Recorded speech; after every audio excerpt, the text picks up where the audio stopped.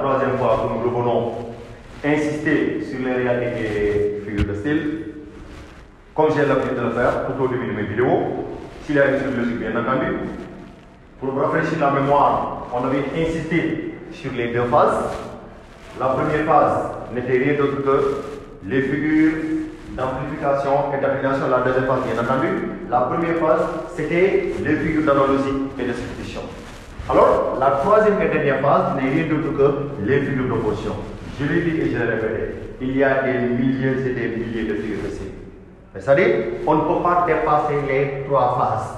Les deux dont je viens de citer et cette phase qui semble être devant vous. C'est très simple. Alors, mais aussi les figures que nous avons passées, ce sont les figures dont nous avons l'habitude de rencontrer ou bien de lire dans nos. Ce sont les figures les plus présentes dans quelque sorte. Alors, comme son nom l'indique, les figures d'opposition, il faut explorer l'expression opposition. Ce sont les figures qui mettent en valeur des oppositions comme son nom l'indique. A, B par exemple, ou bien A, A', C, C', B, B'. C'est la raison pour laquelle on est sur nom des figures d'opposition. Alors, parmi lesquelles, les plus en vue, bien entendu, qu'est-ce qu'on a? Nous avons l'ironie ou bien l'antiphrase. Que signifie l'ironie? Dans l'ironie, on peut avoir le verbe lire en quelque sorte. L'ironie veut tout simplement dire dire le contraire de ce que l'on pense. Dire le contraire de ce que l'on pense. Ça fait rire, bien entendu. Alors, le pourquoi, ça est comme l'opposition. Pourquoi on n'a pas dit exactement ce que nous avons, ce que nous avons pensé, mais on se permet de dire le contraire de ce que l'on pense. Forcément, ça fait partie de ces figures-là. Alors, admettons que par rapport à cet exemple, expliquez un peu. La personne a commis, a dit une bêtise, ou bien il a commis une erreur, sans pour autant s'en rendre compte. Maintenant, pour attirer son attention, la réaction, bravo, je vois que tu progresses. Alors, la foule, c'est la dérive. Là, la personne comprend qu'il a commis une bêtise. Et le pourquoi on l'a pas chahuté, c'était pour faire ce qu'on appelle au public. Au lieu de le dire ce qu'il a fait, on dit ce qu'on appelle le contraire de ce qu'on pense, pour féliciter quelqu'un, pour encourager quelqu'un. Au lieu de euh, l'encourager, qu'est-ce qu'on dit? On dit ce qu'on appelle le contraire. C'est la raison pour laquelle il commet une bêtise. Au lieu de le s'abonner, au lieu de ce qu'on appelle de ramener à l'ordre, très rapidement, qu'est-ce qu'on dit? Bravo, je vois que tu progresses. Alors, qu'est-ce qu'on a? Nous avons l'antithèse. L'antithèse, ça rappelle souvent l'antidétation. Parce que souvent, il y a des élèves qui aiment bien ce, ce, ce, de la dissertation. Alors, d'habitude, j'ai l'habitude de dire à mes élèves, moi je dis souvent la nuance.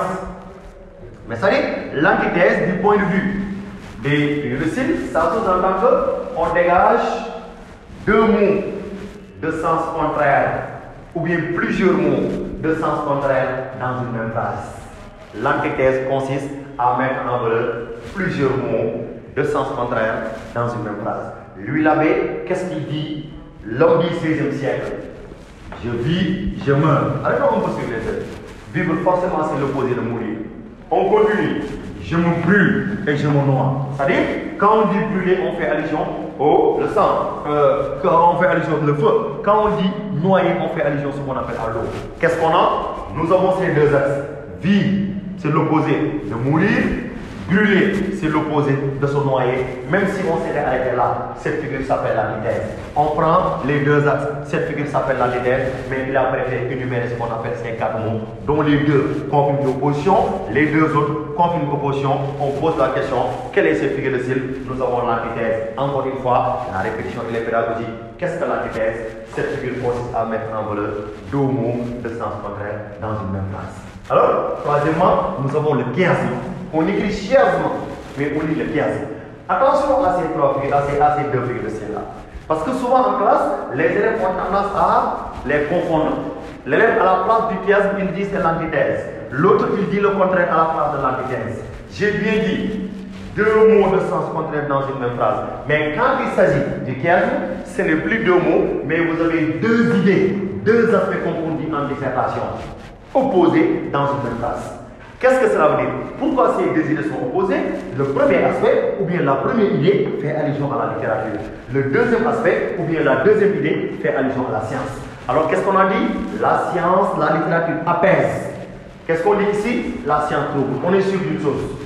La littérature et la science, certes, ce sont deux activités qui semblent être rationnelles, mais le rôle que chacune d'elles joue laisse apprécier par la société bien entendu. Alors, la littérature console. Là, si on avait dit la science console, ce n'est plus qu'on appelle les Mais on a préféré convoquer ce qu'on appelle l'opposé de consoler qui devient ce qu'on appelle troublé ou bien inquiet. Là, vous avez deux idées de sens contraire ou bien deux idées de sens opposé dans une même phrase. Première idée, la tête apaise. Deuxième idée, la science trouble. Pourquoi c'est opposé? La science n'est pas la littérature. Apaisée, c'est ne pas troublé. Pour revenir ici, vous avez meurt, vous avez euh. Mais là, on a dit la tête apaise, là, on a dit ce qu'on appelle la science trouble en quelque sorte. Alors, et enfin, qu'est-ce qu'on a? Nous avons l'oxymore. Qu'est-ce que l'oxymore? Suivez bien ce que je dis. C'est une alliance de mots à sens incompatible. Qu'est-ce que vous avez compris ici? Qu'est-ce que vous avez remarqué? Qu'est-ce que vous avez déniché Qu'est-ce que vous avez détecté? Entre parfait et désordre, il n'y a pas un seul mot qui est là. Et pourquoi les mots sont incompatibles? Mais un désordre ne peut pas être parfait. Un désordre ne peut pas être parfait. Un parfait désordre. Ou bien on dit le soleil noir. Ça pose problème. Un soleil ne peut pas être noir. Ou bien on dit cette belle horreur. Une horreur ne peut pas être belle. Comment est-ce qu'on appelle la comprendre Les deux mots sont liés. Il n'y a pas un seul mot qui se met à la place entre les deux mots-là. Dans ce cas, vous avez ce qu'on appelle l'oxymore. Encore une fois, qu'est-ce que l'oxymore? L'oxymore n'est rien d'autre qu'une alliance de mots à sens incompatible. Maintenant, comme j'avais fait lors des deux vidéos précédentes, j'avais dit que le problème ne se trouve pas le fait de détecter ces figures de style.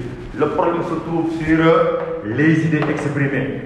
Le problème se trouve sur l'effet produit. Le problème se trouve sur le sens. Le problème se trouve sur la valeur en quelque sorte. Là, vous avez constaté que j'ai mis l'idée, j'ai mis l'effet produit, j'ai mis la valeur, c'est la même chose. Encore une fois, je l'avais dit tantôt, l'effet produit, la valeur exprimée, l'idée exprimée, c'est le sens, c'est le discours. Autrement dit, que veut dire ce qu'on appelle l'auteur par rapport à ces figures-là Souvent, je ne vous le souhaite pas, parce que tout le mal que je vous souhaite, aux élèves de terminale, c'est de passer dès le premier tour, mais des fois, l'élève faut passer euh, au second tour. Si tu parles au second tour, très rarement, on voit des épreuves proposées au second tour alors qu'il n'y a pas de de style. Très rarement. Alors attention à ça. Maintenant, si l'élève dit, bravo, je vois que tu progresses. Là, qu'est-ce que ça sous-entend Certes, nous avons ce qu'on appelle l'ironie. Mais on pose quelle est l'idée exprimée? Par cette figure de style, l'idée exprimée, c'est très simple. C'est-à-dire, le gars est en train de chahuter celui qui a commis ce qu'on appelle cette erreur-là. Parce que s'il voulait pas le saluer, il lui a dit que tu ne devais pas faire ce comportement. Donc là, ce sont ce qu'on appelle, c'est du sabotage en quelque sorte. C'est ça l'idée exprimée. C'est le sabotage. On est en train d'achahuter parce qu'on a, a commis une erreur. On oublie ce qu'on appelle de le faire comprendre que tu as commis cette erreur. On te dit bravo, je vois que tu progresses. On fait semblant de te féliciter alors qu'ils sont en train de marcher sur vous.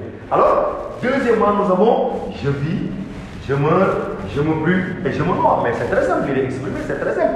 Mais pour venir au monde, on vient dans ce monde pour vivre.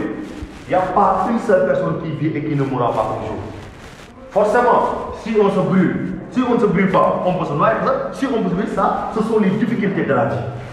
Maintenant, si on se noie, ça devient aussi ce qu'on appelle la réalité de la vie. Qu'est-ce que ça sous-entend? L'idée exprimée par cette figure de style, l'idée exprimée par lui l'abbé, ce sont ce qu'on appelle les réalités de la vie. Parce que pourquoi? Parce que la vie est composée des hauts et des bas. Donc nous avons ce qu'on appelle ces réalités de la vie. C'est ça l'idée exprimée par lui l'abbé dans ce qu'on appelle cette figure de style qui s'appelle la vitesse. Si on dit la littérature apaise, la science trouble, c'est très simple. Ce sont missions que peut jouer la science dans la société et la littérature qu'on appelle dans la société. Ce sont les tâches de ces deux disciplines qui ont été déposées sur la table. Alors, là, nous avons ce qu'on appelle un parfait désordre, c'est-à-dire l'auteur exprime l'idée selon laquelle, c'était en France en réalité, la France était ce qu'on appelle dans un chaos, dans ce qu'on appelle un désordre indescriptible. Donc, le parfait veut tout simplement dire un désordre sans nom, un désordre indescriptible. Il y a ce qu'on appelle le chaos il n'y a pas de loi, il n'y a rien en quelque sorte. On, veut nous faire comprendre que l'idée exprimée par cette figure de style, c'est-à-dire le désordre, ce qu'on appelle indescriptible. Alors, il n'y a pas de loi, il n'y a pas, il n'y a rien. Alors, très rapidement, on pose la question quelle idée exprimée C'est un désordre, qu'on appelle indescriptible, un désordre sans nom. Quelle est ce qu'on appelle l'idée exprimée Ça, c'est le sabotage. Quelle est l'idée exprimée Ce sont les réalités de la vie. Quelle est ce qu'on appelle l'idée exprimée Les missions de la science et ce qu'on appelle de la littérature. Alors, avant de fermer cette livre par rapport à ces figures de nous avons terminé cette, mais on va rafraîchir un la mémoire, puisque, comme j'ai l'habitude de le dire, alors, sur les figures de style, nous avons ce qu'on appelle des milliers et des milliers de figures de style. J'avais clairement dit que la densité des figures de style permet d'analyser et de comprendre le sens d'un texte, ou bien la valeur d'un texte, ou bien l'idée d'un texte. Je lui dis que pour les comprendre, c'est très simple. Il faut aller les chercher du côté de la métaphore de cette figure-là. Cette partie sert à cette partie sert à tirer de l'air, cette partie sert à s'exprimer, cette partie sert à écouter, entendre bien entendu. Mais je lui dis que nous avons des milliers et des milliers de figures ici, mais quel que soit alpha, ces figures sont scindées ce qu'on en trois grandes phases. La première phase est la suivante. Nous avons ce qu'on appelle des figures d'analogie et de substitution, c'est-à-dire les figures qui servent à analyser et à remplacer. La deuxième phase, nous avons les figures d'amplification et d'atténuation, les figures qui servent à adoucir les douloureuses et à, et à mettre en valeur ce qu'on appelle l'exagération. Et enfin, nous avons ce qu'on appelle les figures d'opposition. Ce sont les figures qui servent d'opposition. Par rapport à ça, nous avons l'ironie, comme vous avez constaté, nous avons l'antithèse, nous avons le chiasme, nous avons l'oxymore. Ce sont les figures les plus en, les plus vie. Comme vous l'avez constaté, cette vidéo est un peu courte, mais on est obligé de nous arrêter là au fond de notre discours. Rendez-vous dans 15 jours sur notre chaîne YouTube. Je vous remercie de votre attention et un sagement votre question, pour vos questions, pour apporter ce qu'on appelle les réponses qu'il faut. Je vous remercie.